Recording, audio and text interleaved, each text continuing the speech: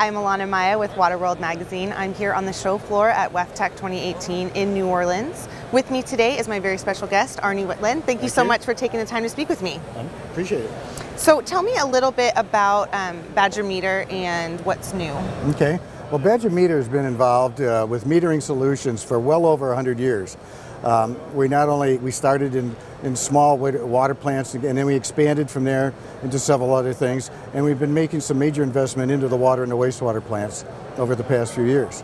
Um, we have mechanical solutions, we have electronic solutions now, and much more to offer our customer base. So Arnie, tell me what's new here for Badger Meter at WEFTEC. Well, Badger Meter is constantly expanding our water meter technology, uh, and we're introducing the TFX 500W, which you see right here. Uh, it's for clean water solutions. It's a 24 volt uh, metering solution, and it interfaces through Modbus to our AquaCUE capabilities. Um, talk to me a little bit about the difference between clamp-on metering or other metering technology. Well, clamp-on metering allows you to measure flow in a pipe without replacing a mag meter, which is the traditional way of doing water treatment. Okay, um, and it allows the customer to save a lot of money since he doesn't have to do that. And it is not quite as accurate as a mag meter, but it gives the accuracy that will allow the customer to still measure his flow through his pipe.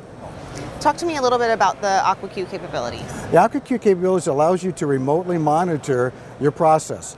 Uh, it's a it's a cloud-based system. So when uh, we take a measurement of one of our devices, we send the information to the cloud.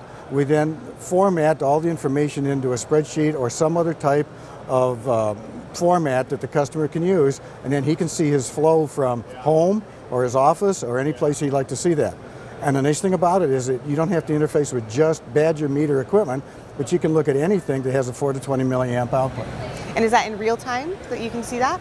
You can you can schedule the time that it does it, uh, but it does it on a periodic basis. Great. Well, thank you so much for taking the time to speak My with pleasure. I'm glad you came by. For Waterworld Magazine, I'm Alana Maya.